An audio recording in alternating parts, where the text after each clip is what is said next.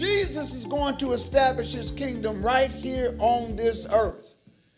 And we need to know how we're going to get there. So I titled this subject, The Translation of the Saints.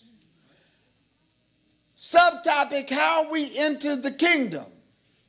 And subtopic two, The Events After the Thousand Years. Some people might say, you know, what, why is that important? You know, you can get to the habit that you do what we call just coming to church as a social event. Amen? And you come to church and, you know, the praise and worship did a good job today. Our musicians did a good job today. Don't y'all go too far, young man. Um, and you'll find that when you see all of that, you can get really addicted to that.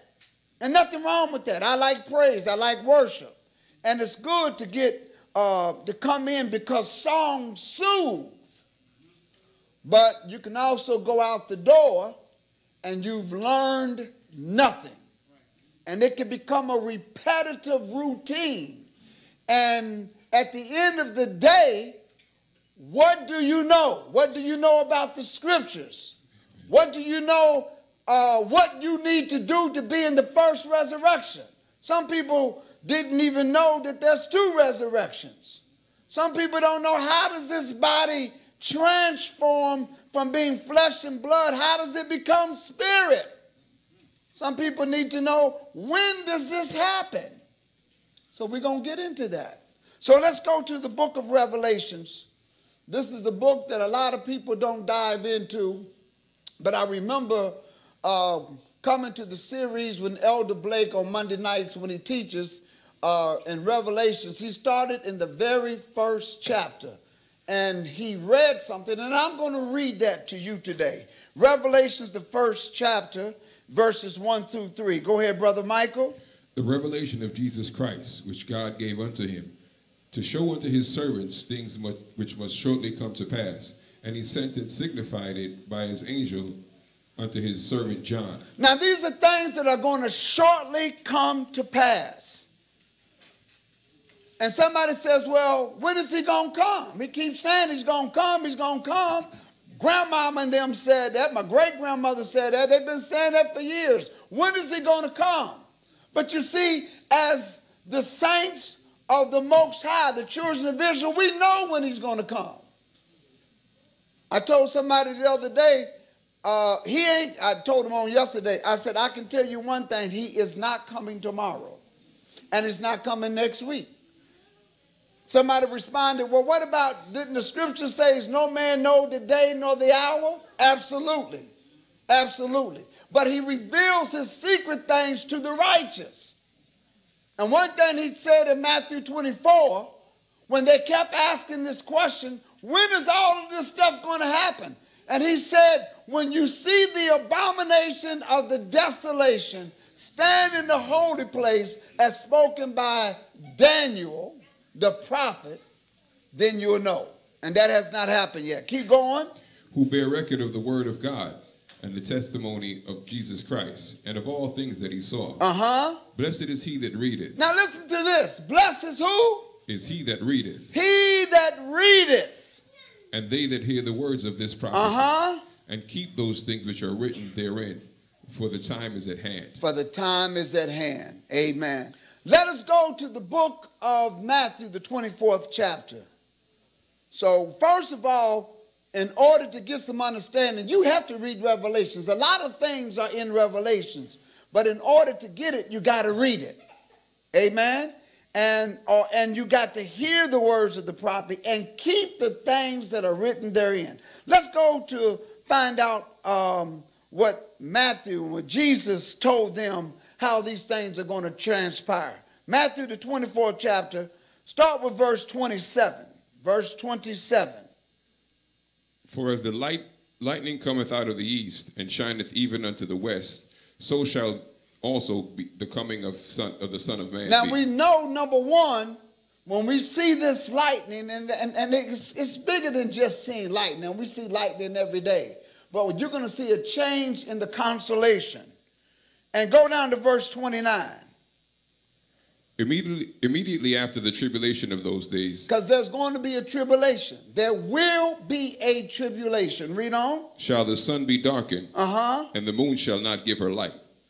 And the stars shall fall from heaven, and the powers of heaven shall be shaken. So that's the change in the consolation. Keep going. And what's going to happen after that? And then shall appear the sign of the Son of Man in heaven. And then shall all the tribes of the earth mourn. And then shall and then they and they sh- shall see the Son of Man coming in the clouds of heaven with power and great glory. And he shall send his angels with a great sound of a trumpet, and they shall gather together his elect from the four winds, from one end of heaven to the other. We do know, Elder Mac, that when he comes, he's gonna he's gonna gather his people. He's gonna gather those that are in him, whether you're in the grave, whether you're still alive. He's gonna gather you from the four corners of the earth, wherever you are. He's not gonna just grab anybody. You have to be in his will. You have to be in his will. And he's going to gather you uh, from one end of the heaven to the other.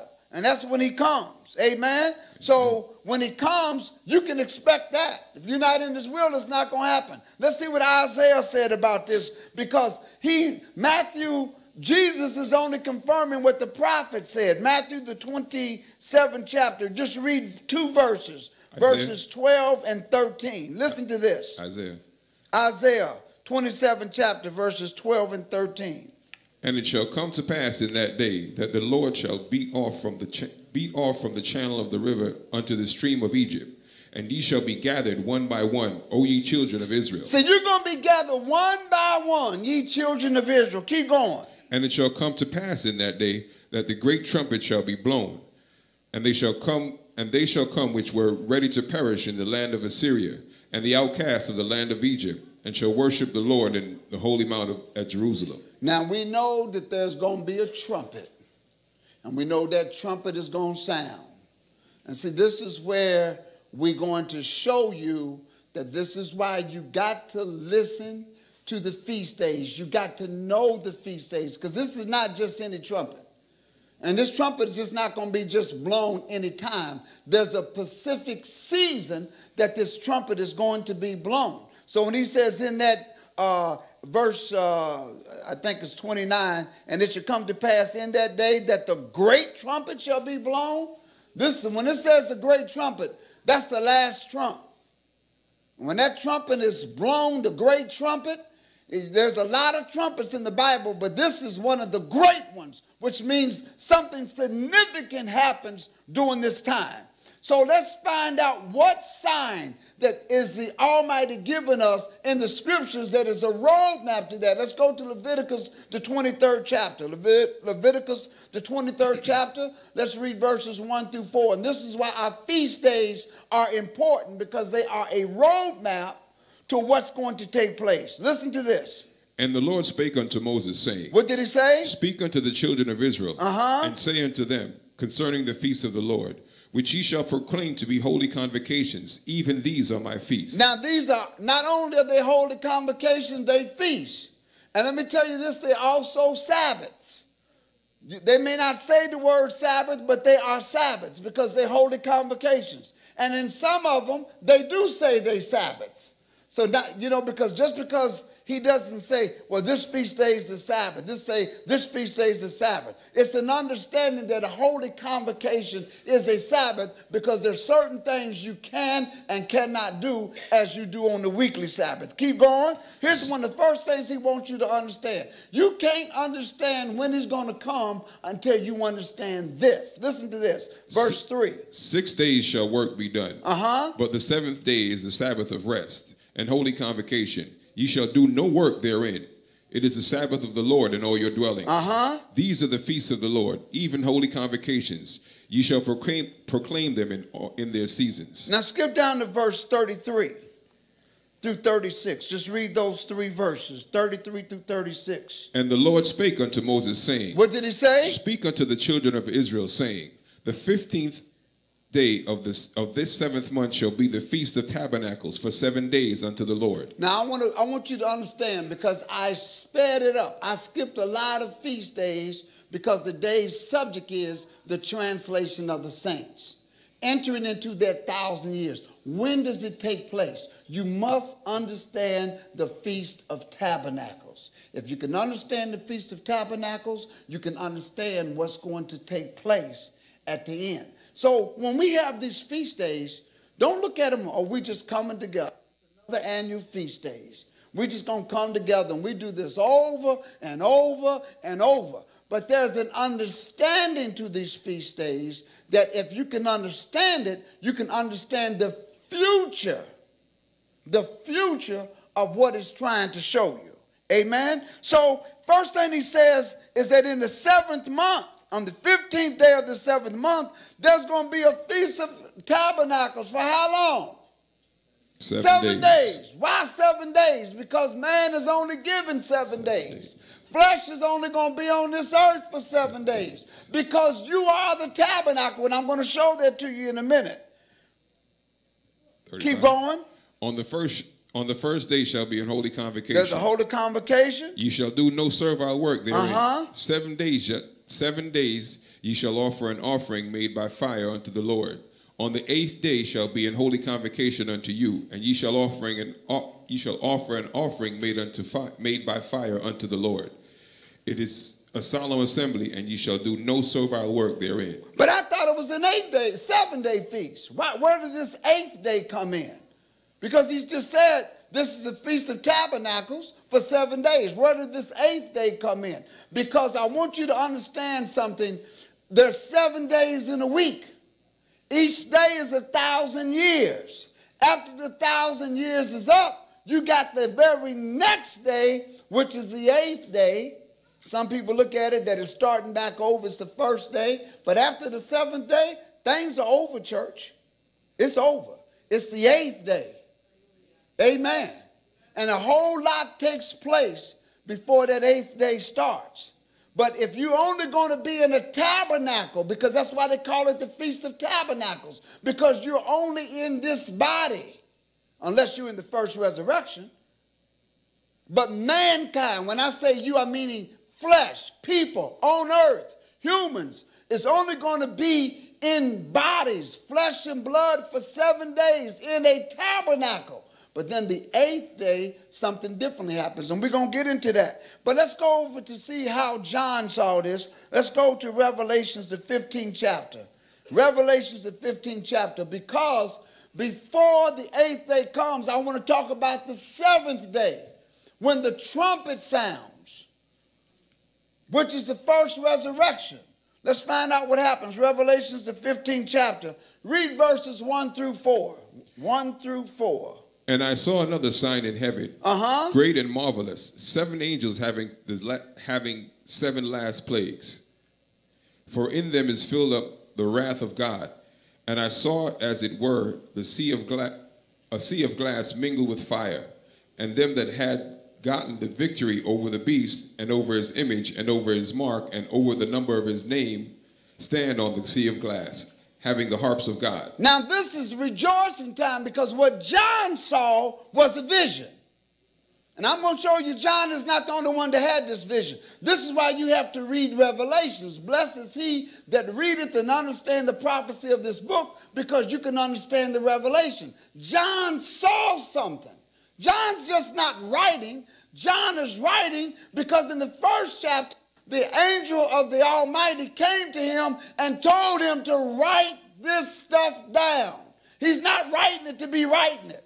He's not writing it to put in the book. Whenever you have words in the book, they're meant to be read. And things that we read are meant to be understanding. And all of your getting get what? Understand. And my people are destroyed for the lack of what? Knowledge. And the reason why we're destroyed for the lack of knowledge, nine times out of ten, because we don't read. Amen. And the reason why we don't read, because we go by what we call oral transmission, uh, uh, information, oral information. We go by what mama said. We go by what daddy said. A lot of times we go by what the preacher said, and we don't even read. Amen? And this is why you have to read. Some people say, you give a lot of scriptures. Pastor, I have to give a lot of scriptures because I don't want any thoughts to come out of my mouth. I want the word to do the walking and the talking. So he sees this uh, glass. He saw uh, uh, uh, these people, and I saw as it were a sea of glass mingled with fire, and them that had gotten the victory over the beast. So somebody has to get victory over the beast. You know, a lot of people don't even know who the beast is. The beast ain't an animal running around. The beast is a system. It's Satan. Those that are working for that system. And you need to know what that system is. Anything that goes against the opposite of God is the beast and the system. If God says the seventh day of the week is the Sabbath and somebody else saying it's the first day, it's the mark of the beast. If God says eat clean, here's a dietary law, what I want you to eat and don't eat, and somebody else says you can do anything you want to, that is a system that is being operated by the beast. And you're going to have to overcome that. You're going to have to overcome that. And those that overcome, what, what happened in verse 3? What happened? And they sing the song of Moses, the servant of God, and the song of the Lamb, saying, Great and marvelous are thy works, Lord God Almighty. Just and true are thy ways, thou King of saints. Uh huh. Who shall not fear thee, O Lord, and glorify thy name? For thou only art holy. For all nations shall come and worship before thee, for thy judgments are made manifest. Here's where you're going to have to put line upon line, precept upon precept. You just cannot read Revelations to get the fullness of understanding of this. You're going to have to go back. Let's go back to the book of Psalms. Let's see what David had to say about this, about these people singing. Because, see, this is where songs come in, Sister Faye, that, that we just going we're gonna go to heaven and we're just going to shout and sing all day long. First of all, you ain't going to heaven. We already learned in the previous weeks the kingdom of God is going to be here on earth. And number two, you're not going to just be singing, singing, singing, singing. But if you read some passages without putting them together, you think all you're going to do is walk around singing. That's a boring place. Amen. I don't want to just sing all day. Amen. I'm going to get tired of singing. Am I right, musician? Amen. After a while, you get tired of playing. After a while, you get tired of singing. Singing is good. Amen. But, eh, but give me some meat. Give me some word. Amen. Give me some word. And you got to have what we call a balanced meal. Did you know that much studying is weary? Amen. I can't, that's why I can't go past a certain time, because I can't go past a certain time. I got to know I got a limit too. Amen. So let's see what David said about this singing, because these saints are not just singing. I want you to see what else they're going to be doing. Read Psalms of 149th division. Read verses 1 through 9 real quick. Praise ye the Lord. Uh-huh. Sing unto the Lord a new song, and praise and his praise in the generation of the saints. Uh-huh. Let Israel rejoice in him that made him. Let the children of Zion be joyful in their king. Oh, now they're happy. What they going to do? Let them praise his name and dance. Let them sing praises unto him with timbrel and harp. For the Lord taketh pleasure in his people. He will beautify the meek with salvation. Uh-huh. Let the saints be glor- let the saints be joyful in glory. Let them sing aloud upon their beds. Uh-huh. Let the high praises of God be in their mouth. Yes. And the two-edged sword in their hand. Wait a minute. They're going to be singing, they're going to be singing praises out of their mouth, and they're going to have a two-edged sword in the other hand. Amen. Amen. So you got to understand at the same time, they are happy, but they also have a work to do. The word of God is powerful, sharper than any two-edged sword. And swords are meant to do two things. It gets down to the bottom of business. Amen. What are they going to do with that sword? They're singing, they're happy coming out, but what are they going to do with that sword? Listen to the next verse. To execute vengeance upon the heathen. Oh, they're going to execute vengeance. Upon the heathen. You mean the saints are going to do that? So you need to know what you're going to be doing when you return. If you're in that first resurrection, you're not going to just be singing. Oh, you're going to be singing, but you're going to have a sword in another hand, and you're going to be executing vengeance upon the heathen, and what else? And punishments upon the people. What else are you going to be doing? To bind their kings with chains, and their nobles with fetters of iron, to execute upon them the judgment written. This honor have all the saints. Praise ye the Lord. Amen. Amen. Now let's go back to Leviticus because I want to know again when does this happen? When does what feast day that tells us this happens? Go to Leviticus, the 23rd chapter. 23rd chapter, skip down to verses 39 and 40. Just read two verses. See, I have to go back and forth so you can see uh, uh, the translation. Because first you're in the body, you're in flesh, right? But how do you come up out of the body? When do you become flesh to be in a position that you're singing happy? And with the sword in another hand. Read that, 23rd chapter, Leviticus, verses 39 and 40. Listen to this. Also, in the 15th day of the seventh month, uh-huh. when ye have gathered in the when ye have gathered in the fruit of the land, ye shall keep a feast unto the Lord seven days. On the first day shall be a Sabbath, and on the eighth day shall be a Sabbath. Now again, here he gives. He come telling you seven days you're gonna have this feast, but all of a sudden he throws in this eighth day. Did y'all notice that? Amen. Seven days you're going to have a feast. But on the first day is a Sabbath, and the eighth day is a Sabbath. Because on the eighth day, that is the beginning of a new era of time when flesh will exist no more. No more. Why? Because we are in a temporary structure right now. That's what Feast of Tabernacles is is to let you know that you are dwelling in a temporary structure. Read the next verse. Listen to this. And ye shall take and ye shall take you on the first day the, bow, the boughs of goodly trees, branches of palm trees, and the boughs of fig trees, and the willows of the brook, and ye shall rejoice before the Lord your God seven days. See, we do that. We, we when we come here for the Feast of Tabernacles, uh, we, we're dwelling in booths. And let me just say this you don't have to dwell in the booth, okay? You find those other Jews who don't believe in Jesus, they dwell in booths because they ain't got the picture yet. Amen. You look around, come Feast of Tabernacles, and we're in a strong Jewish community in South Florida. You see folks building booths. You see folks living in booths. You got some uh, uh, uh, people living in tents and doing all of that. You don't have to do that no more. Amen. Amen. You don't have to build a booth. Somebody said, What do you mean you don't have to build a booth? You better give me a scripture. Go over to Nehemiah. Nehemiah, the eighth chapter. Read just four verses, 14 through 18. This is a little sidetrack a little bit because I want to let you know that when you come to the Feast of Tabernacles, you don't have to dwell in a booth that you make, that you put together. You ever see people do that? Amen. They put together the booth. They take the, uh, they build a big thing, and some people actually live there. There's some groups here in the United States. What they do is they bring everybody together, and they'll go out and live in a tent in the woods during the Feast of Tabernacles. Okay? We need to get some understanding. And I'm glad we got it. But folk need to get to understanding. Listen to this. And, let me build you up to this. Nehemiah, the children of Israel, had not kept Feast of Tabernacles for a long time. But when it was time to them to rekindle this feast day, what did he say?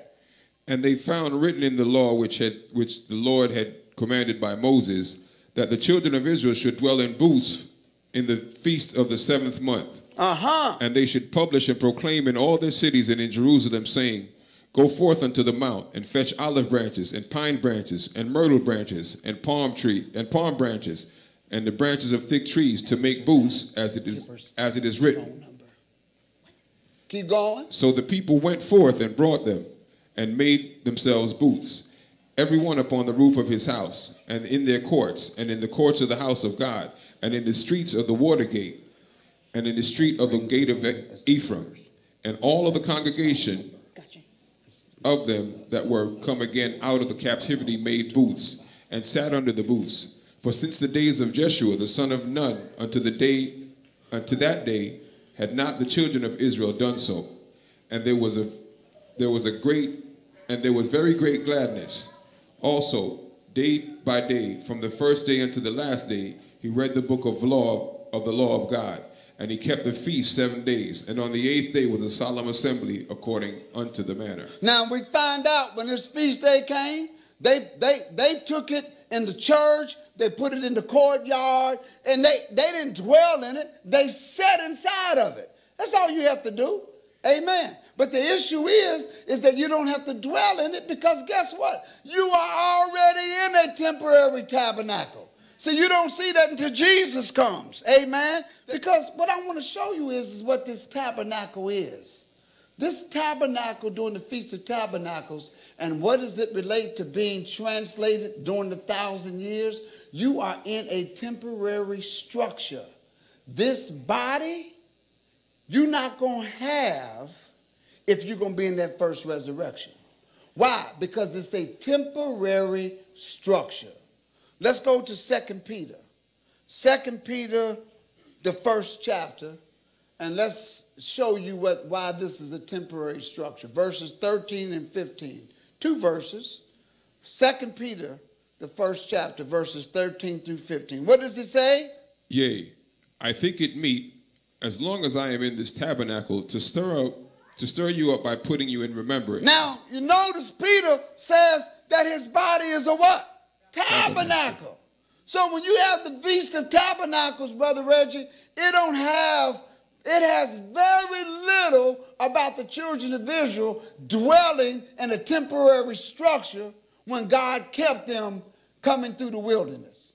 You're not going to last in this body. It's temporary. So he says, uh, yea, I think it meet. I think it's important. As long as I'm in, in this tabernacle to stir you up, keep, in, keep going. To stir you up by putting you in remembrance. Uh-huh. Knowing that shortly I must put off my put off this, my tabernacle. Because you are going to have to take off this tabernacle. If you're going to be in the first resurrection, you're not going to have this body. On the eighth day, you're not going to have this body. Because you're not going to have this body, church. A lot of people don't know that. A lot of people think that we that, that the Almighty is going to come and set up a kingdom. And, and, and if we're going to be in his kingdom and a part of his kingdom, that we can just go on being flesh. A lot of flesh is going to be destroyed, and I'm going to show that to you. But those that are in the first resurrection, you have to take off this body. You have to take it off. Keep going. Even as our Lord Jesus Christ has showed me. Why? Because Jesus showed you that. Jesus didn't go up in the same body. He went up, came down, and he had a new body that was what? Spirit. Keep going. Moreover, I will endeavor that ye may be able after my decease to have these things always in remembrance. Let's go over to Second Corinthians. Let's see how Paul places it. Second Corinthians, the fifth chapter, how he explained it to the Corinthians. Because I'm going to let you know, church, this, this tabernacle, this body is a tabernacle that is temporal. It's temporal. You don't need to. I know that the nurses and the, and the nurse practitioner talking about all the elements, uh, ailments that you go through, all the heartaches and the itises that you go through, all the inflammation and diabetes and, and, and high blood pressure. This body is a temporary tabernacle. Read verses 1 through 4 real quick. For we know that if our earthly house of this tabernacle were dissolved, because it's going to be dissolved, we have a building of God and but we have a building from who? God. We have a new body that's going to come from God. Keep going. And house not made with hands, eternal in the heavens. And it's not going to be made with hands. Keep going.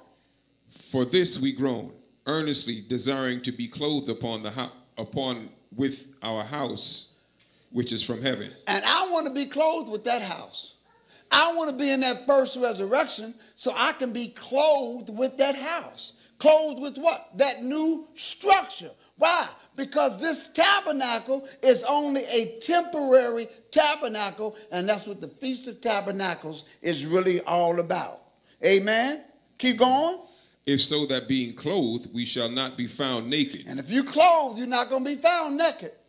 Keep going. For we that are in this tabernacle do groan, We that are in this body, we groan. Amen. Being burdened, Uh huh. not for that we would be unclothed, but clothed upon, that mortality might be swallowed up of life. And I'm hoping that mortality will be swallowed up in life so I can have immortality. Y'all want to know what we're here about? You want to know why we're here? We're here to find out how do we become immortal. What feast days tells us about being immortal. Amen? I can come and preach Daniel in the lion's den every week. I can preach touching the hem of his garment every week. I can teach Paul being delivered from prison and associate with that in your life every day. I can do all kinds of analogies and make you feel good. But did I tell you how to become immortal? Do you know if whether or not you're going to become immortal? Yes. This body is temporary, and our job is to become immortal. Amen? Corinthians, first we read uh, 2 Corinthians. Read 1 Corinthians, the 15th chapter. And I want you to get this one right here, verses 35 through 54. Now, I want you to write this down, and I want to take my time with it because you need to get this. You really need to get 1 Corinthians, the 15th chapter, 35 through 54. I want you to read that. Go ahead. Listen to this. But some man will say, Uh huh. How are the dead raised up? And with what body do they come? Now, people want to know. I don't know if they want to know today because we've been bamboozled with religion that we just come to socialize, sing, hear an inspirational message, how loose you are, how you're going to be taking over the bridge of the water. And so folk don't ask these questions no more. But they did ask the question because when shortly after the days of Jesus, they said, listen, how are the dead raised up? And what body Do they come? are you going to come back in? Listen to this. Thou fool, Uh-huh. that which thou sowest is not quickened except it die. Now, he called him a fool. I, I, when I read this, I kind of laughed a little bit. Because, Brother Kurt, this is a good logical question. And he said, Thou fool, that just which, because they wanted to know what body is raised up. I think we worse today because we don't look at being resurrected from the grave. We think when we die, we're going to heaven. So he might say, Thou idiot, you don't die and go to heaven. So they asked the question, What body does it have when it's raised up from the dead? What body? He says, Thou fool. Listen to what he said. that which thou sowest is not quickened except it die. This body cannot be quickened except it die. Keep going. And that which thou sowest, thou sowest not that the body that not that body that shall be, Uh huh. but bear grain. It may chance of wheat or some other grain. So whenever you put something in the ground, when it comes up out of the dirt, it don't come looking like the way you put it in the ground. Am I right?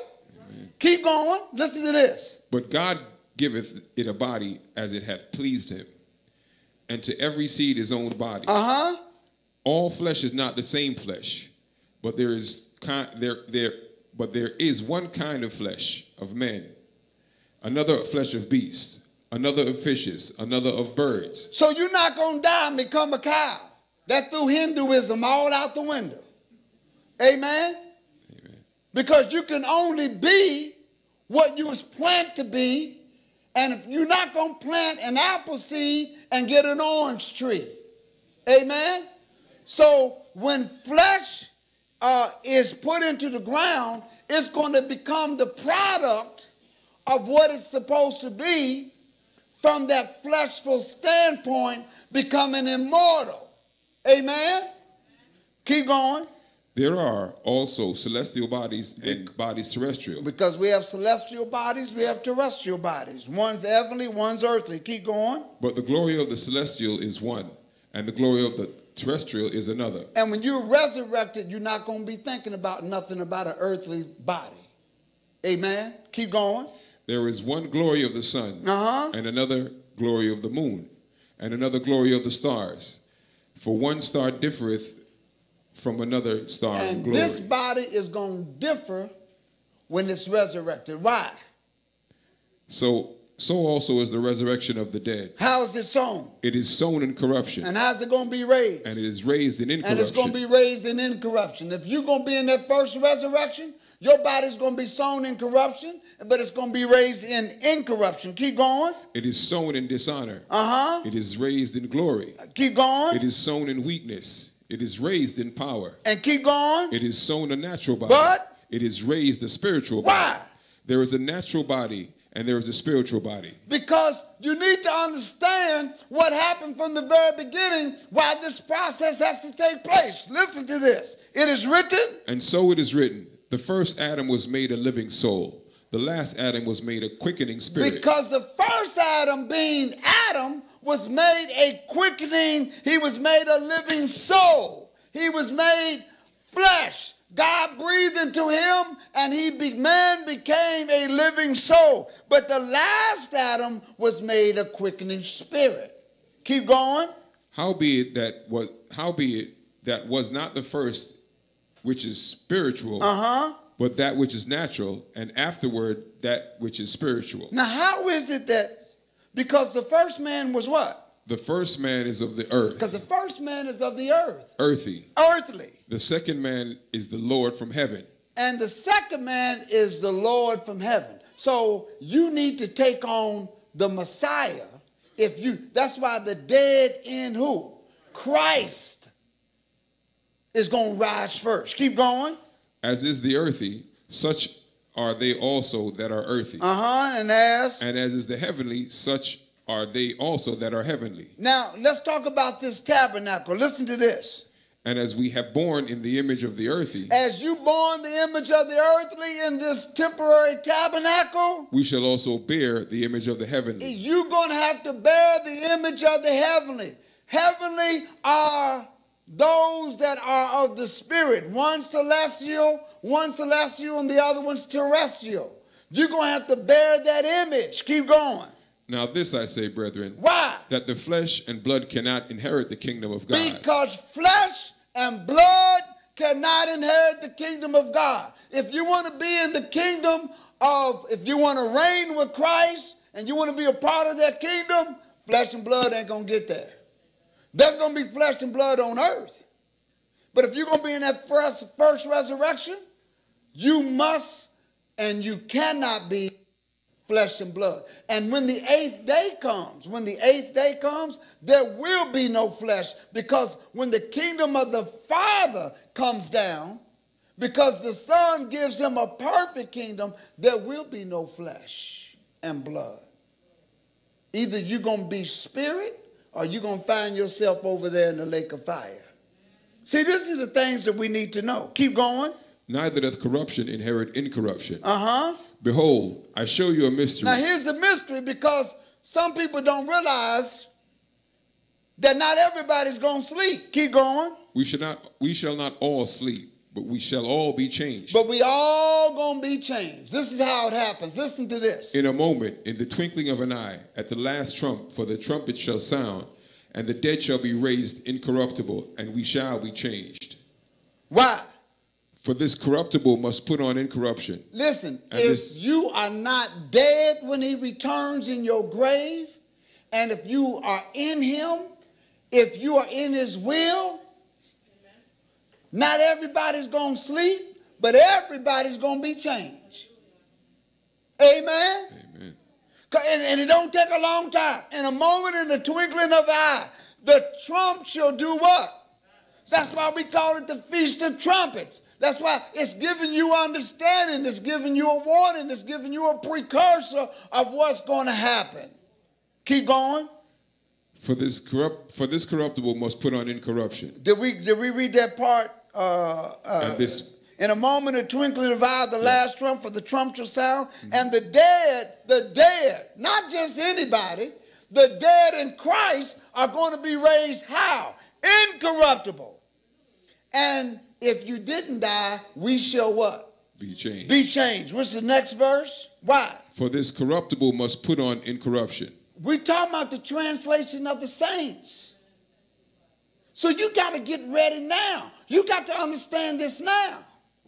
You got to know what's going to happen now because this corruptible must put on what? Incorruption. And this what? And this mortal must put on immortality. Keep going. So when this corruptible shall be shall have put on incorruption, and this mortal shall have put on immortality, then shall be brought to pass the saying that is written, Death is swallowed up in victory. My God, my God. Give the Lord a hand clap. Because the first thing you have to do is you got to be baptized of the water. Amen. Let me tell you something. You got to be baptized. You got to be baptized of the water. Amen. You got to repent and be baptized, every one of you. I don't care what kind of knowledge you come into. I don't care if you come into the knowledge that, that your father and your DNA goes all the way back to a Pacific tribe. I don't care what you learn. I don't care what PhD you have. I don't care what theology school you go to. If you don't repent and be baptized, you are not going to be in that first resurrection. Because you want to be born not only of the water, but you also want to be born of the Spirit. Go to Thessalonians, the fourth chapter. Read verses 13 through 18. We're moving along real good here now. But I, I would may not, finish ahead of time. Go to First Thessalonians, the fourth chapter, verses 13 through 18. Listen to this. But I would not have you to be ignorant, Uh-huh. brethren, concerning them which are asleep, Uh-huh. yet ye sorrow not, even as others which have which have no hope. See, this is why you got to understand when you got people that dead, that died in Christ, he says, I don't want you to be ignorant, brother, concerning them which are what? Asleep. Not in heaven, but those that are placed into the grave, six feet under. Because when they die, the hearse is going to take them right out of the mortuary and put them right inside of uh, uh, the ground and going to put them six feet under and going to cover them up. But don't worry about that. Don't worry about that. I don't want you to be ignorant, brethren, concerning them which are asleep, that you sorrow not, even as others which have no hope. Why? Because you need to know something as the saints of God. What do we need to know? Listen to this. For if we believe that Jesus died and rose again, If we believe that Jesus died and rose again, and you know they covered him up with a big old stone around the door, it didn't matter. They put soldiers around the grave, it doesn't matter. When it's time for you to get up, you're going to get up. Lazarus had been dead for a number of days. But when Jesus came, he said, Lazarus, wake up. The Bible said, don't you know he's stinking? But you let me tell you something. When that call comes, when that call comes, see, this is what I get happy about right here. When that call comes, you are going to hear it. And if you believe that Jesus died and rose again, even so them also which sleep in Jesus, God's going to do what? bring with him. Oh, he's going to bring them with him. So we need to clarify that out. Keep going.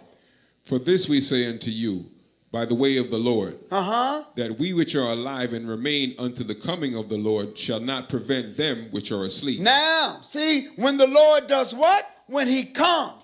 For this we say unto you, brethren, by the word, by the word of the Lord. See, the new so-called New Testaments or the Gospels or the letters was not written when Paul is doing his teaching, when he's writing this letter. So he said, this is by the word of God. I say to you, brethren, by the word of God, that we which are alive and remain unto the coming of the Lord, Shall not prevent them with them which are asleep. you're not going to prevent them which are in the grave. Keep going. For the Lord himself shall descend from heaven with a shout, He's going to come down from heaven. Descend means come down. He's going to come down from heaven with the what? with a shout, A- And what? with the voice of an archangel. Keep going. and with the trump of God. And what's going to happen? And the dead in Christ shall rise And the dead in Christ. See, the dead going to get up first. Keep going. Then we then we which are alive and remain shall be caught up together with them in the clouds to meet the Lord in the air.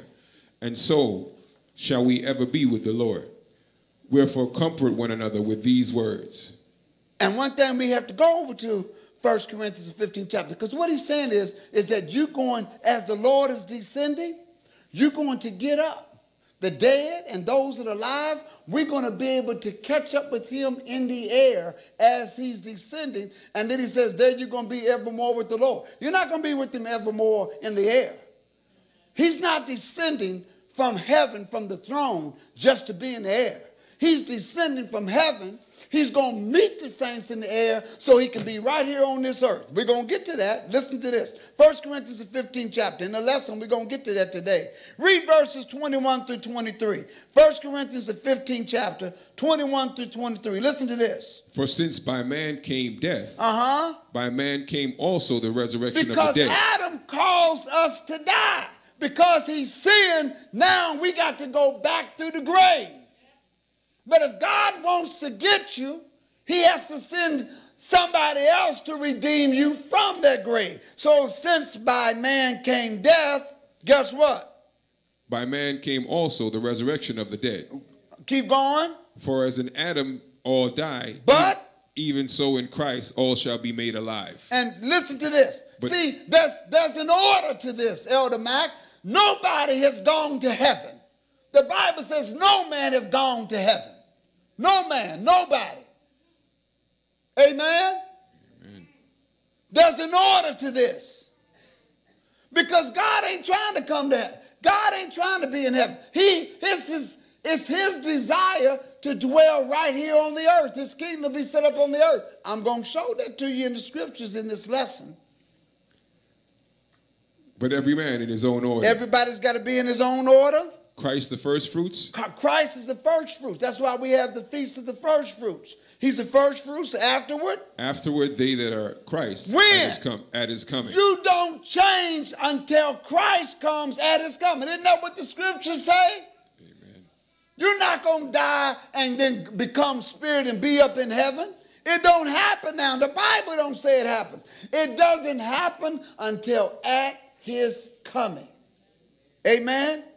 Let's find out what happens when he comes. Because we talked about the children of Israel having a, a sword in one hand, singing in another hand. Go over to Zechariah, the 14th chapter. Read verses 1 through 5. Listen to this.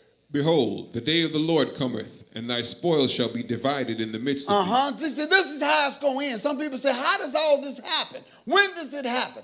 This is when it happens. When the day of the Lord cometh, the spoil shall be divided in the midst of thee. What's he going to do in verse 2? For I will gather all nations against Jerusalem to battle. See, no, watch, watch. That's why you need to watch the news. See, when that abomination gets over there in the desolation, it's going to upset the entire Middle East. And there's going to be all of these people coming up against Jerusalem. Keep going.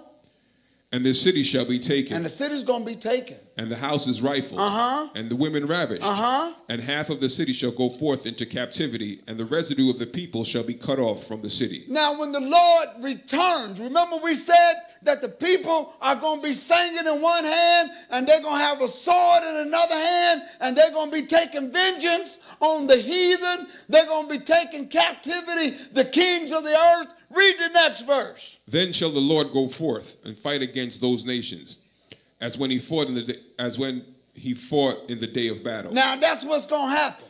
When he comes back, he's not come. He's coming back to resurrect the saints from the dead and those that are alive. He's going to change you. You're going to meet him in the air. You're going to be singing out of the, out the songs out of one mouth, and you're going to have a sword in the next. Amen. Keep reading. Keep reading. And his feet shall stand in that day upon the Mount of Olives, uh-huh. which, which, is before Jerusalem on the east. Uh huh.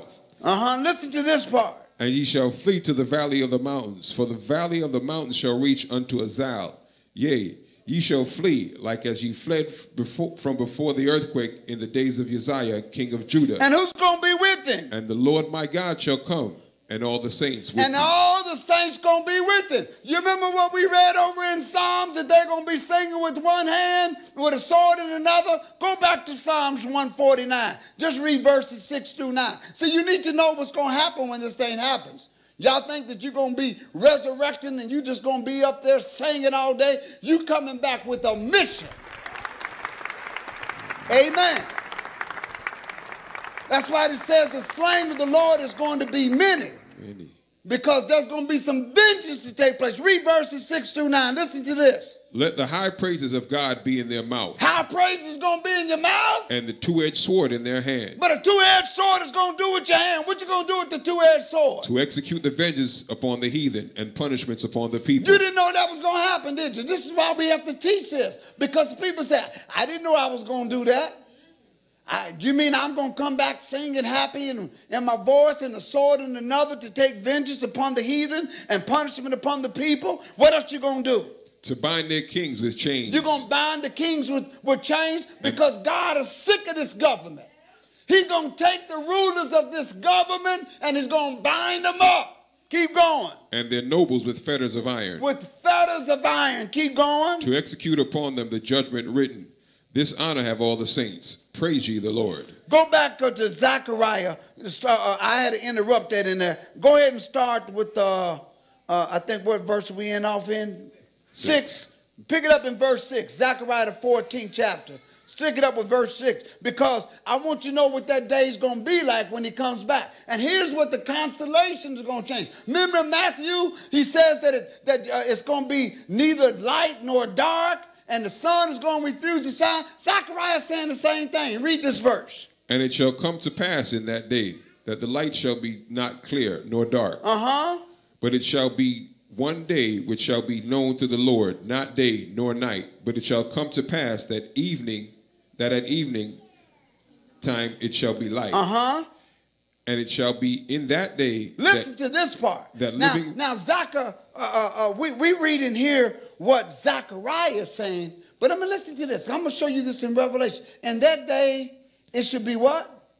it sh- it sh- and in that day and Living it shall be in that day that living water shall go out from Jerusalem. When he sets up. Because he doesn't kill everybody when he returns. He leaves a remnant from every nation. We're going to find that out. Listen to this. Keep going. Half of them toward the former sea, And ha- so there's going to be these waters coming out of Jerusalem, half of them toward the former sea. and half of them toward the hinder sea. Uh huh. In the summer and in winter And it's going to happen all year long. shall it be. Keep going. And the Lord shall be king over all earth, And he's going to be what? king over all the earth. This is why he ain't going to be the king of no clouds. He's not going to be in the earth, in the air for a thousand years. He's going to be the king over all the earth. Listen to this. In that day shall there be one Lord, There's going to be one Lord and his name one. and his name one. Keep going. That's 19, 6 to 9. Yeah, go, ahead and read, uh, what's the next verse? 10. uh, skip down to verse number 16 verse number 16 because see you need to know when you return and bind up people because you're going to be killing a whole lot of folks saints of the most high god in that first resurrection but you're not going to kill everybody listen to this verse 16 listen to this And it shall come to pass uh-huh that every one that is left of all the nations which came against Jerusalem Oh, you mean there's going to be all of these people, all of these nations that came up against Jerusalem? Keep going. shall even go up year from, from year to year to worship the King, the Lord of hosts, and to keep the feast of tabernacles. See, you see how important tabernacles is? So when he comes back, mother, there's all of these nations. Everybody's going to go up against Jerusalem. But he's going to leave some folk. Now, let me ask you this. Here you are on earth and you in the flesh. You ain't in the first resurrection. You just in flesh and you lot, lot of people going to be killed. But think about it.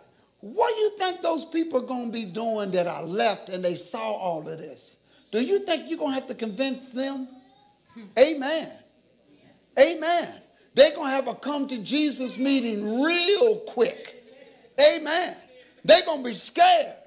Oh my God, did you just see what happened? Where did those folks come from? This got to be the Messiah. Keep going. It should come to pass that everyone that's left at all those nations which came up against Jerusalem, what are they going to do? shall go up from year to year to worship the You're King, going to go up from year to year to worship the King, the Lord of hosts, the Lord of hosts. and to keep the feast of And you will keep the tabernacles. You may not want to keep the tabernacles right now. You may argue when I try to teach you the tabernacles right now. Amen. And I hope you all are here. Feast of Tabernacles, every feast day of God is good. But let me try and tell you something. The world may reject it. You may try to take it to your family, and you may try to show them the feast days, and they may they look at you like they're crazy. But if they are still on earth when the Messiah comes and they're not taken out, they will come up from year to year to keep the Feast of Tabernacles. Keep going. And it shall be that whoso shall not come up of all the families of the earth unto Jerusalem to, To worship the? King, to worship the King, the Lord of hosts, even upon them shall be no rain. You know that water that was coming out of Jerusalem? That they said it was going to come out of Jerusalem going down on the east side?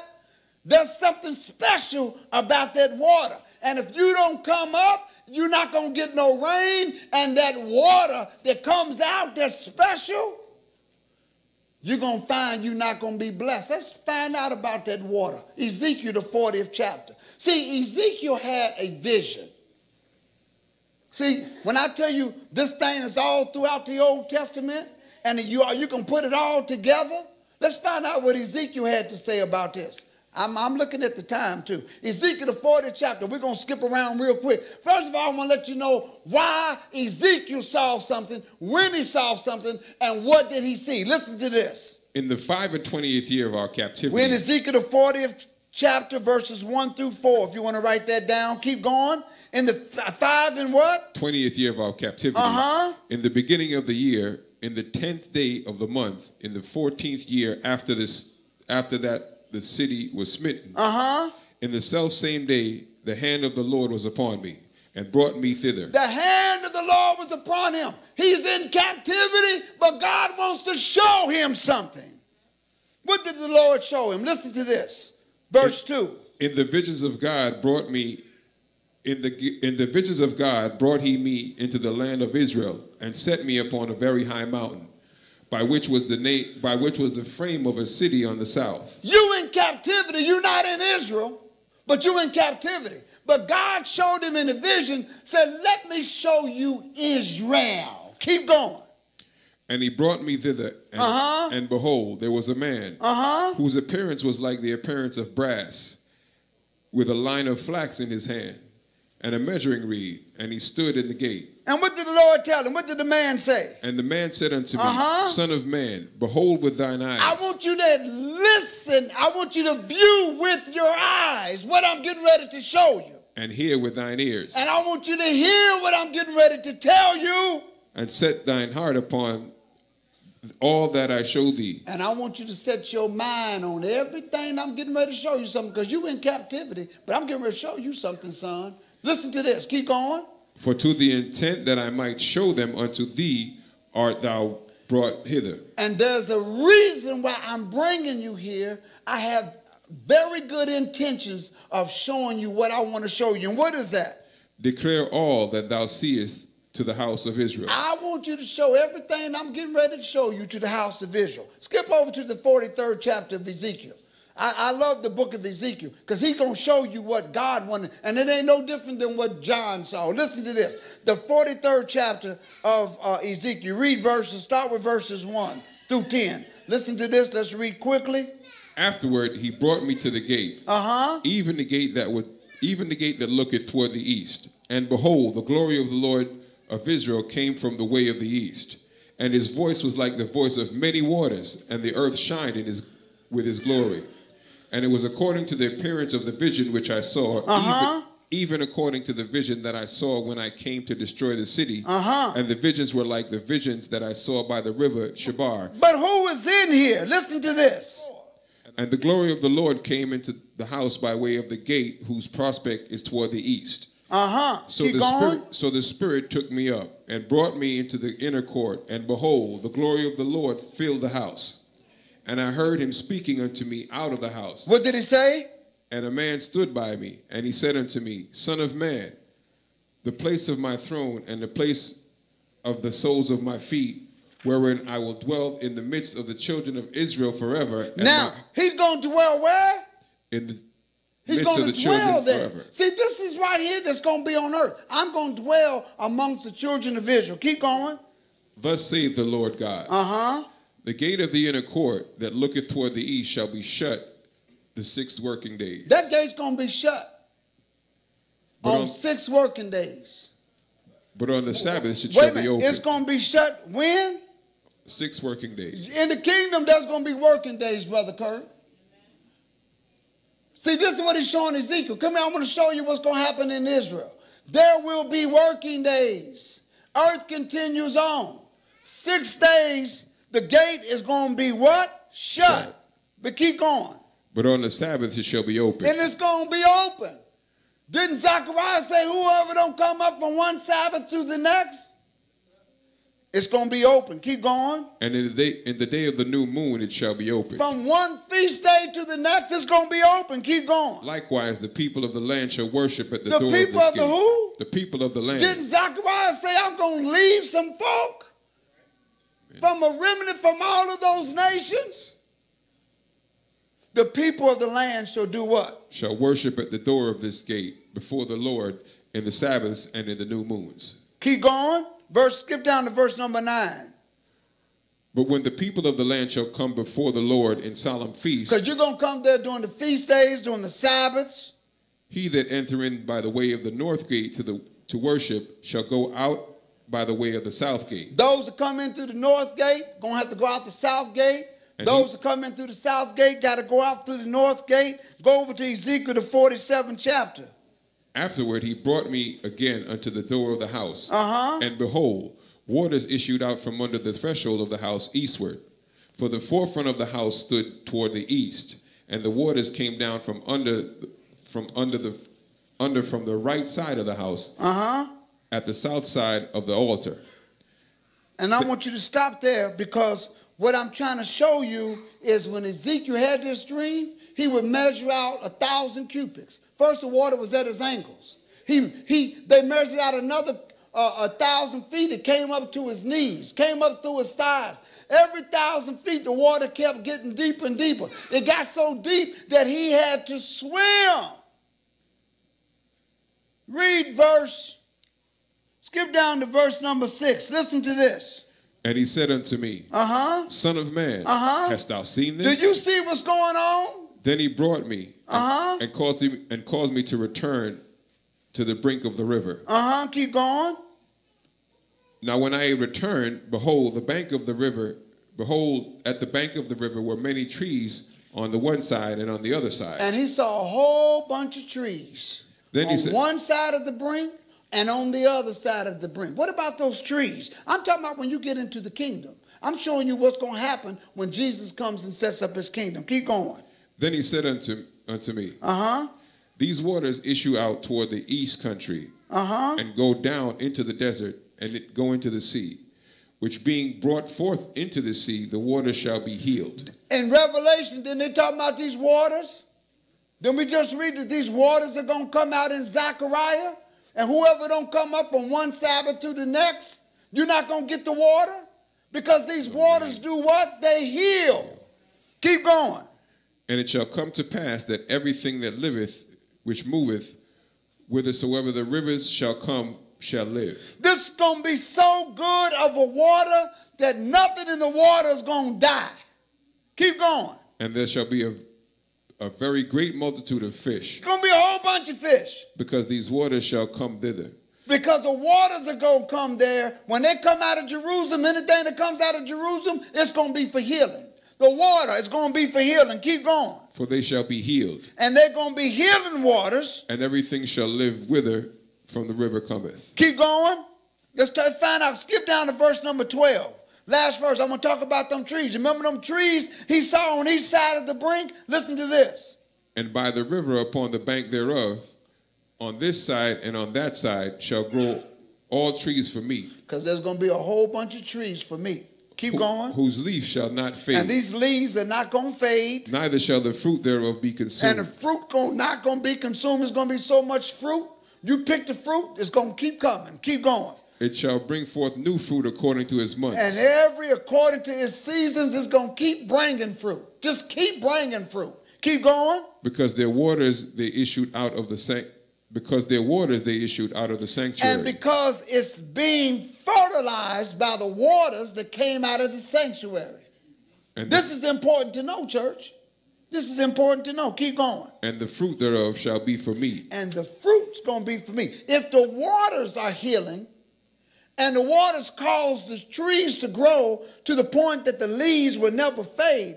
Could you imagine that the water that makes the fruit grow, how much healing that's going to be? Why do you think Isaiah said that a baby will live to be 100 years old?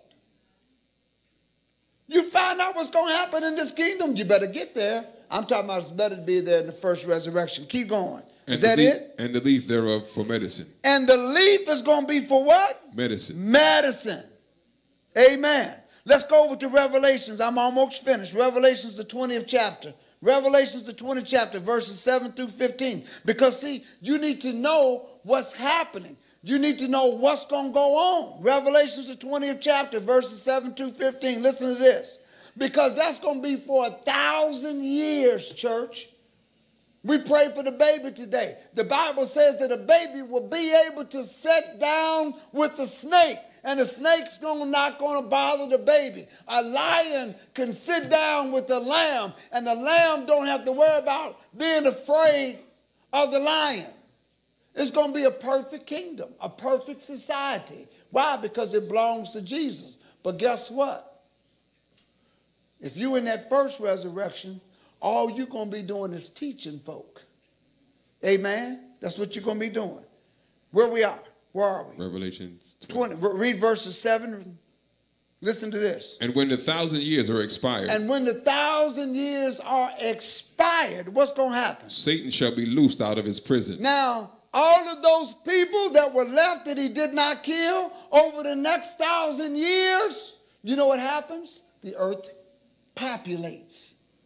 And there's going to be a whole bunch of people that's going to be populated on this earth. If there's people left from every nation, because they God spared them, because he just didn't kill them, because he's going to kill he's going to kill a lot of folk, but he's just going to leave some folk from every nation. You all don't have to worry because we're in that first resurrection. First resurrection. We're singing with our words in one hand and we got a sword in the other. And let me tell you something. That sword is not only for killing. That sword is also going to be for teaching, because that's the word of God. Keep going.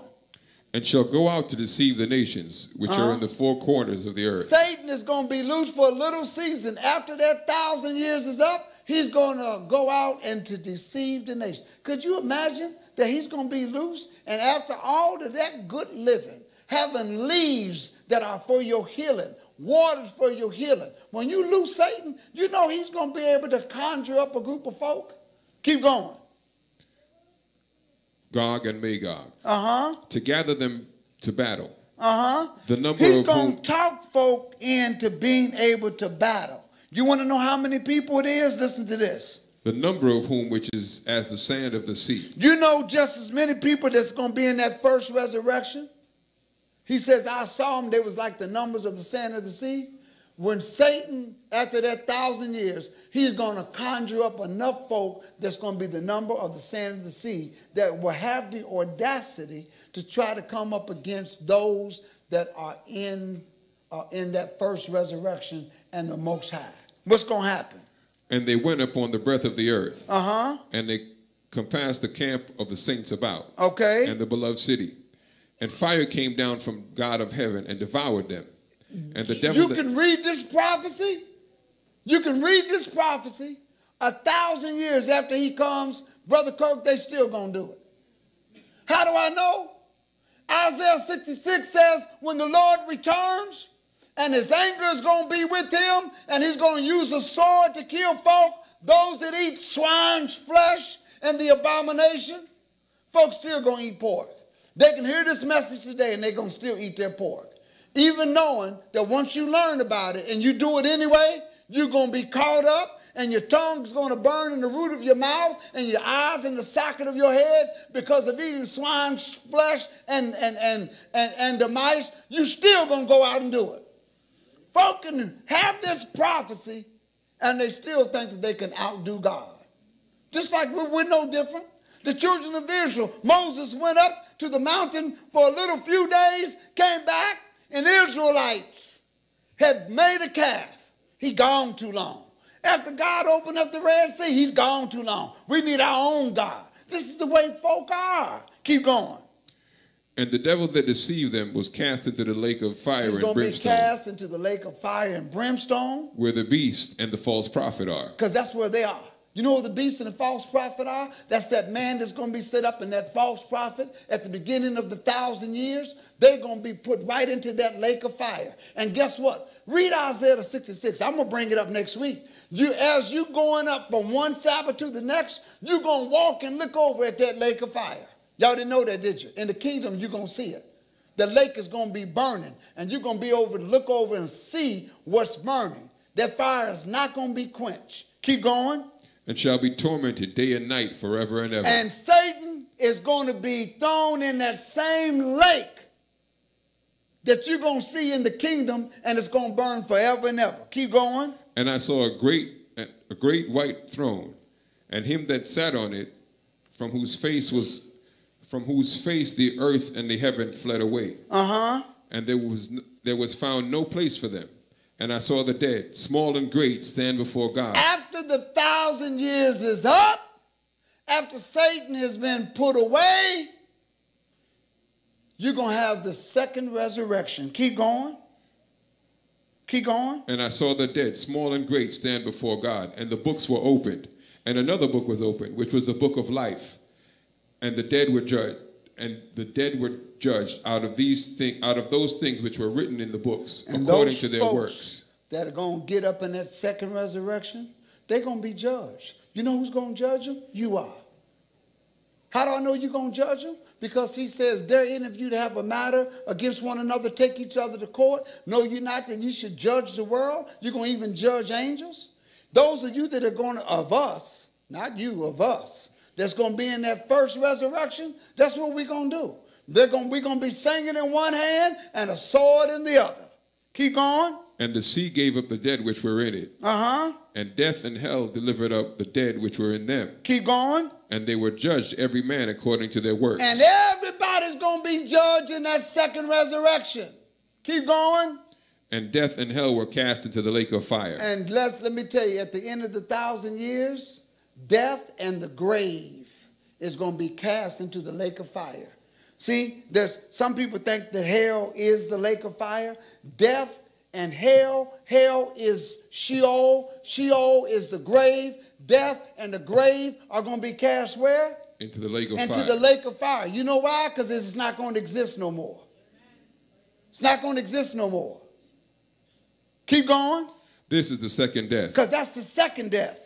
And whosoever was not found, and whosoever, whosoever was not found written in the book of life was cast into the lake of And fire. those in that second resurrection, if you was not found in the book of life, guess what? Bye-bye. See you later. Where are you? You cast into the lake of fire. Amen? Now let's talk about those healing nations. I just got two more scriptures and I'm going to end. We're going to go eat. Revelations the 22. Revelations 22. Because I want to let you know John saw the same thing that Ezekiel saw. You remember Ezekiel saw, I saw waters coming out and they were for the healing of the nation. Read Revelations 22. And he showed me a pure river of water of life, Uh-huh. clear as crystal, Uh-huh. proceeding out of the throne of God and of the Lamb. In the midst of the street of it, and on either side of the river, was the tree of life, which bare twelve manner of fruits, and yielded her fruit every month. And what about the leaves? And the leaves of the tree were for healing of the nations. Didn't we just read that in Ezekiel? Amen. Amen. The leaves are for the healing of the nation. And those that are resurrected, if they accept Christ, if they listen, and if they take part of the tree of life, they're going to become spirit. Keep going. And there shall be no more curse, but the throne of God and of the Lamb and of the Lamb of God shall be in it, and his servants shall serve him. Uh-huh. And they shall see his face, and his And name we shall gonna see his face. and his name shall be in their foreheads. Uh, keep going. and there shall be no night there, and they they need no candle, neither light of sun. Now, uh, go down to verse number seven. Listen to this. Behold, I come quickly. Uh-huh. Blessed is he that keep the sayings of the prophecy of this book. Didn't it? Isn't that what he said in the very first chapter? Amen. We start. That was our first scripture. Blessed is he that readeth and understand the words of prophecy of this book. He ends that same way.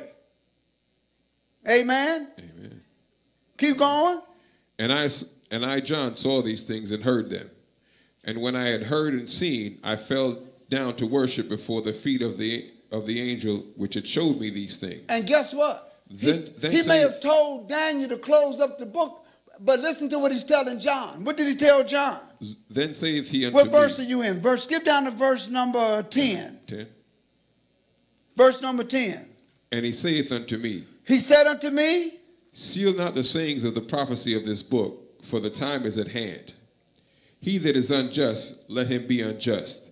He which is filthy, let him be filthy still. He that if is that's how you're going to be, that's how you're going to be, church. Keep going. and he that is righteous, let him be righteous still. And he that is holy, let him be holy still. Why? And behold, I come quickly, and my reward's with me, See, when he comes and the saints going to come with him, his reward is with him. Keep going. to give every man according to his And work you're shall be. and you're going to be given according to your works. Why? I am Alpha and Who Omega, is? O- the beginning and the end, And guess what? the first and the last. Read the next verse. Blessed verse are- 14. Blessed are they that do his commandments. See, you want to nail them to the cross. Don't nail them to the cross, church. Don't let nobody tell you these things have been nailed to the cross. Blessed and holy are they that what? do his commandments. Why? That they might have the right to the trees of life, And to do what? and may enter into through the streets, through the gates into the city. Why? See, you want to enter into those gates. Everybody's not going to be in those gates. Who can't go into those gates? For without are dogs There ain't going to be no dogs there. and sorcerers, No sorcerers. and whoremongers, No whoremongers. and murderers, Murderers. and idolaters, idolaters, and whosoever loveth and and whoever maketh a the lie. lover to make a lie. Stop I- right there. And after the thousand years is over, in the see the sixth, the seventh month of the sixth day, the thousand years starts. It ends on the seventh month, on the seventh day. Because a thousand years later, after the tabernacle, is a thousand years later on the seventh day in the seventh month. But guess what happens? Satan is going to be loose because you got 12 months in a year. You got five months. I don't know what that five months equals out to be. I don't know. Satan's just going to be loose for a little season. Then you're going to have the great white throne judgment. And then there's going to be not a lot of time. Folk, either you in or either you out. Amen? Either you accept the tree of life or either you don't. Amen? So over those five months, but after the five months, this is why he says, after the Feast of Tabernacles, you shall celebrate the tabernacles for how long? Seven, days. The first day is what? And then he jumps up and says what? The, eighth day. Sabbath. And the eighth day is something special, Brother Kurt, because there's no more flesh. There's no more judging. Either you spirit or you flesh that didn't make it and you in that lake of fire. Because everybody has to be flesh that's going to be. Everybody has to be spirit. Everybody must be spirit because flesh and blood cannot inherit the kingdom of God. And what happens, my last verse, what happens after everything is brought under subjection? Corinthians, 1 Corinthians, the 15th chapter. I want you to read four verses, and we're going to end this lesson. Listen to this. Then cometh the end. Then cometh the end. After the end of the seventh day, when that eighth day starts, because Jesus told you, he already told you. He stood up on that last great day of the feast, and he's pleading, He that thirsts, come. There's some water over here coming up out of the throne. And if you're thirsty, drink it. Don't worry about it because if you take a part of it, your flesh will become what? Spirit. Amen? And after Jesus has gotten everything done, he's cast Satan into the lake, all the flesh that just want to be hard headed into the lake. Then come at the end when he's going to do what? When he shall have delivered up the kingdom to God. He's going to deliver his kingdom that he established for a thousand years to the Father. Even what? Even the Father. Even the Father. When is that going to happen? When he shall have put down all rule and all authority and power. When he puts down everybody, including Satan, under every rule, every power. Father, it's done. Keep going.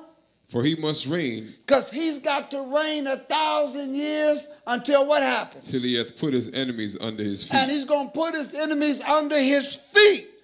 And who's that enemy? The last enemy that shall be destroyed is death. Remember, he said he's going to cast death and hell into the lake of fire along with Satan. Keep going. For he hath put all things under his when feet. When he has put under all things underneath his feet. Keep going. But when he but when he saith all things are put under him, it is manifest that he is expected, which did put all things under him. Oh, and it's gonna happen. Keep going. And when he and when all things had and then when all things shall be subdued and when him, everything is subdued then shall the son also himself be subject unto him that put all things under him. even the son is going to be subject to the father when his kingdom comes down on earth and dwell with men who have become spirit because the eighth day means that you're no longer dwelling in a tabernacle. This is why he says for seven days during the Feast of Tabernacles, you must dwell where? In the tabernacle, right?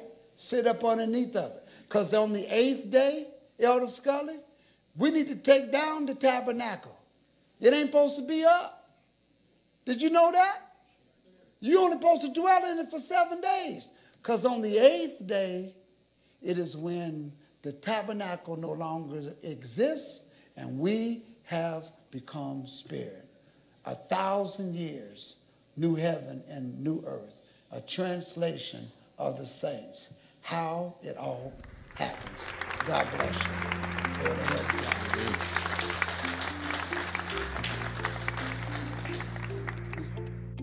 I'm Stephen Johnson, the senior pastor of Bethel House of God, located right here in Fort Lauderdale, Florida. You know, now that we know that we're Israel, we're the people of the book, what do we do from here? Well, there's a lot of things we have to learn, a lot of things we have to, to discuss, and a lot of things we have to be taught. We have to talk about how do we become in the first resurrection. We have to talk about that the feast days are the plan to salvation. It's a roadmap that leads into the kingdom that's going to be right here on this earth and that we need to be a part of that kingdom. I do that because and teach that because it's important for us as Israel to know. It's bigger than knowing who we are, but what are our roles? What are what are our roles during that millennium? What are we supposed to be teaching today? Again, it's bigger than saying who you are, what DNA you come from, what is your historical history. We, we understand that. And those are good things to know because we are wakening up every day. But the most important thing is we must learn this word. We must learn what the gospel is according to the prophets, and that is that the kingdom of heaven is going to be right here on earth. So I make a plea to you today, and I ask you if you can help us in this effort, in this ministry, by going to bethelhouseofgod.org. That's bethelhouseofgod.org. Look for the donate button, and we ask that you'll help us by getting better cameras, uh, better software. There's a lot of things that we need to do, a lot of equipment, lighting, because we want to put out a productive message to the people. Israel both adopted, grafted, heirs, joint heirs, natural, spiritual, wherever you may be, we want to get this kingdom of the gospel of heaven out to all of the four corners of the earth. So thank you so much. And don't forget to hit that subscribe.